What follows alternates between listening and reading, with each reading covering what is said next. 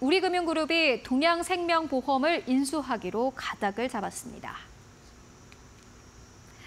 우리금융은 지난주 중 동양생명과 ABL 생명에 대한 현장 실사를 마치고 경영진에 그 결과를 보고한 것으로 알려졌습니다.